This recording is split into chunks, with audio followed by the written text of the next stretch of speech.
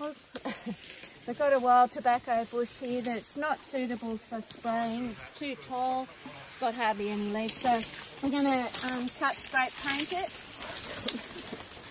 um, so I get my saw out. It's a bit too big for my loppers.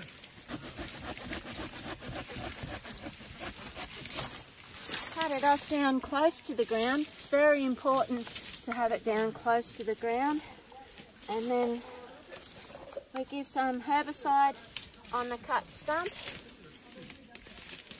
Because this is quite a big, big stump here, I won't trust that that's enough to um, to um, die. So I'm going to scrape this down a bit to give it a bit more surface area and get a bit more of a successful kill. And then give that a bit of a herbicide on there as well.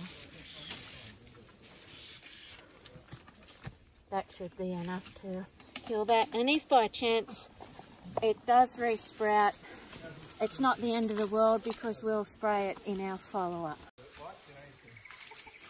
Here we've got a winter senna. It's mixed in with the tangle of lantana here. It's unlikely to go down with a spray. So we're going to target this one by cut, scrape and paint. A bit of a multi-trunk one. We cut it off low and close to the ground and we can uh, give those cut stumps a bit of a herbicide and just beat them up a little bit to get a bit more surface area and uh, give those a squirt as well. So that's out of the way. Hi guys, um, we're just treating a bit of devil's fig in here. Uh, there's a few of the smaller ones I've just cut and pasted or sprayed. And then Des is coming behind just to drill these ones because if we start dropping them, they're going to be in the way and won't be able to get in here. So yeah, just knocking out probably some of these little ones.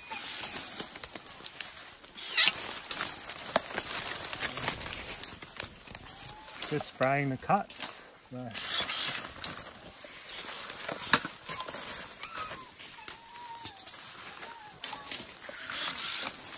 But it's a bit of a rainforest problem. So. Mm.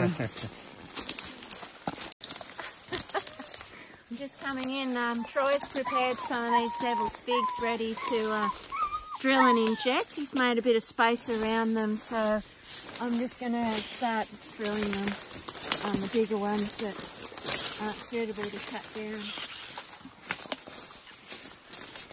They're pretty nasty. They're covered in thorns and um, sometimes it might be more user-friendly to leave them standing rather than tripping over branches covered with nasty prickles.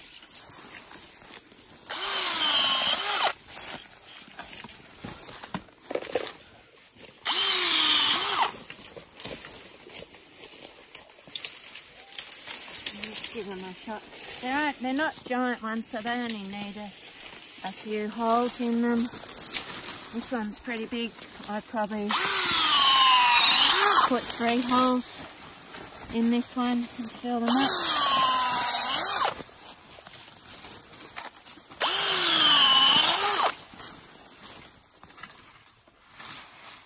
It's important to fill them promptly after you've drilled the hole for best results. Might give it one more up there. And then you've got to, tobacco. Make sure you're killing a, a weed, not a noddy. Check twice and kill once.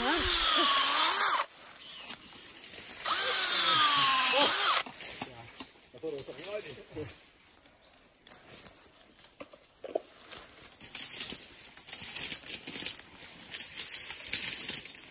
good. Plenty more where that came from.